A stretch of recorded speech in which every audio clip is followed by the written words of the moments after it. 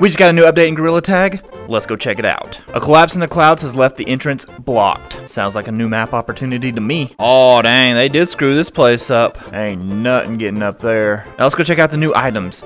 Yo, we got bunnies. What? Oh, that's a cool little badge. We got an eggshell hat, flowers, St. Patty's hat, bunny ears, butterfly nose, cool sticks, four-leaf clovers. There's a bunny gorilla in my pocket. Also, we got a new rotation map, and it's it's uh, it's electrocuting that snowman for some reason. Huh. Subscriber, you'll end up like this guy.